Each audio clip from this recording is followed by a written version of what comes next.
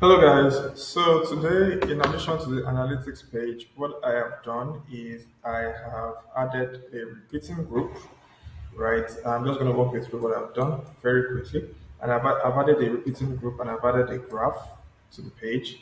So what I'm doing is I'm just looking at page views and I have um, basically I've added different page views um, analytics using the repeating group. So this is a repeating group.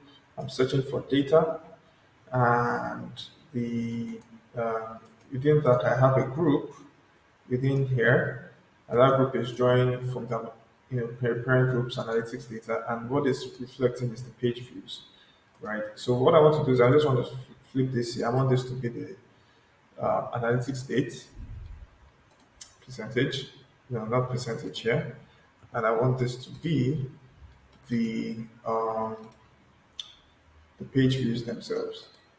So it's just going to have percentage beside it. Yeah, that's good. So um, next thing I want to do is I want to just have like a heading on top. So I have um, I've just copied and pasted that group, and I'm going to make this first. And for here, I am going to call this. I'll just clear this. I'm going to call this um, uh, creation date. So then I'm going to call this um, yeah, page view. Storage.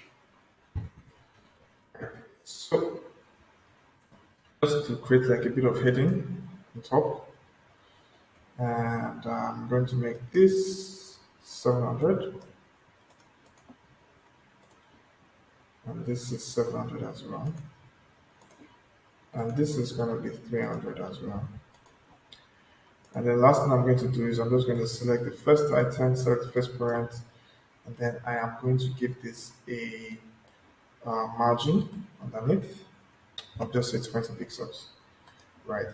And then last thing is I'm going to say this group is not visible on page load. Not visible on page load collapse when hidden.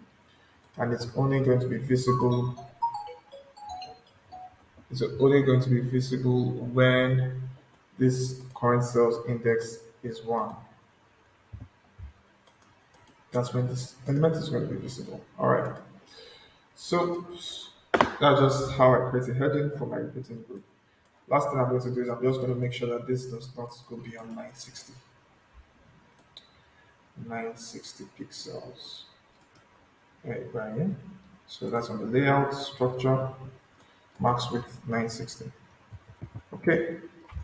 Um, then it's going to be center aligned. I think it, I believe it already is. Same thing here.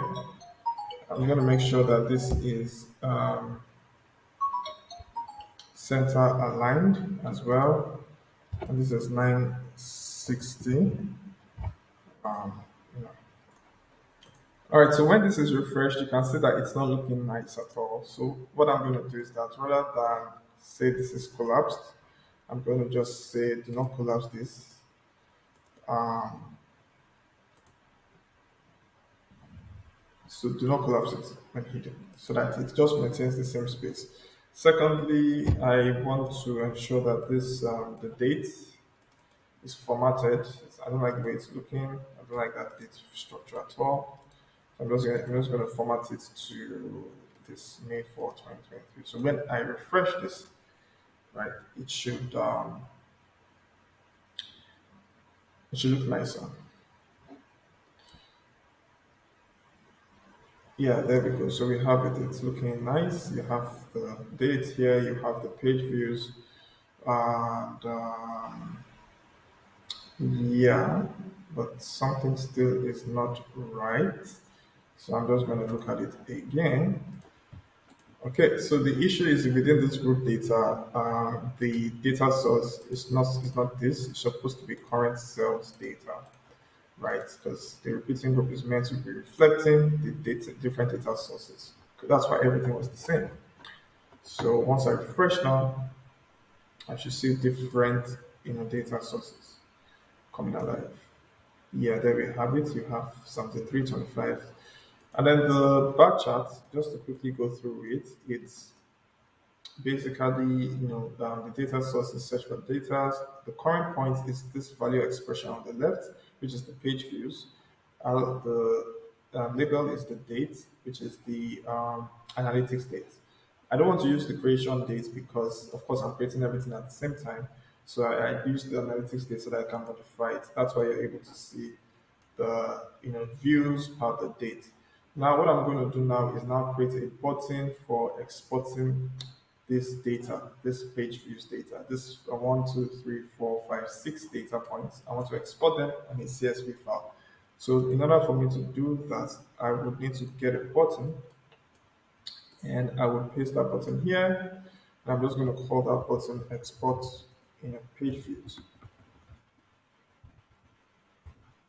Well, let's just export, export analytics. Right. Um, export, analytics. I'm just going to put that center align, make this to 50, just a bit of styling, 50, center align it. Then I am going to go into my plugins and I'm going to download a plugin called um, CSV download. Sorry, CSV Creator. Um, here you have it. So it's by Ellie, really good guy. Um, so you can just install that. And so what I'm going to do is I'm going to go straight into, um, I'm just going to, sorry about this. I'm just going to get this CSV creator. I'm going to paste it anywhere. You can just paste it anywhere, you know, on the group, leave it there. And uh, you can just then do this workflow that when this workflow is created, you know, just type CSV. And you can just look for download data as CSV. There you have it. So name of the data is of course data type. Then here what you're going to do is you're going to you know use this repeating group as your data source. So this repeating group data page views your data source. So I'm just going to go back to the workflows. I'm just going to put repeating group data page views. It's all data, correct. So then, you know, data formatting is Excel friendly. That's okay. And so then you now have um,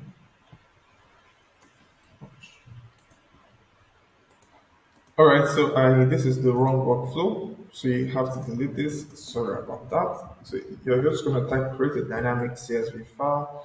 Uh, you can name it whatever you want. Then for the columns, the first column, you're just going to call this repeating group data, page views, uh, list of data, um, each items, page views. So you can call this um, page view percentage. Then you can call this page view bit.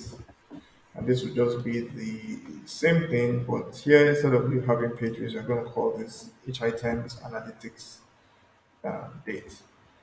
That's all. And you know, once you have that, you can go ahead to test it. You can see I've just clicked it and you know it's downloaded. And if I open this it's going to that's my page view. So that's basically how you do analytics and export with CSV thank you. And uh, hope to see you in the next video. So that's the repeating group the bar chart and exporting via CSV with bubble.io